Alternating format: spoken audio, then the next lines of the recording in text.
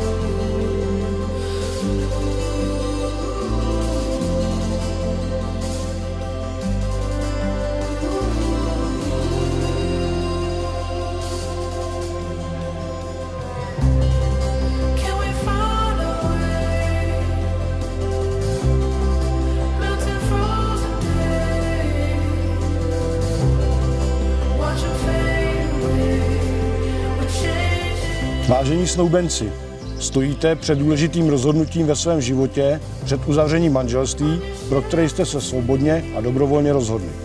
Ptám se vás, pane ženichu, zda dobrovolně vstupujete do manželství s přítomnou slečnou Barborou Vyčánkovou.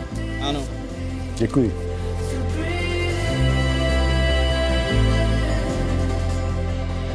Ptám se vás, slečno nevěsto, zda dobrovolně vstupujete do manželství s přítomným panem Milošem Veselým. Ano. Děkuji.